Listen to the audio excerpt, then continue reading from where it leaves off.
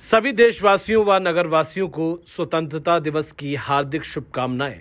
निवेदक नगर पालिका गंगा घाट अध्यक्ष, कुमोदी पांडे, अधिशासी अधिकारी मुकेश कुमार।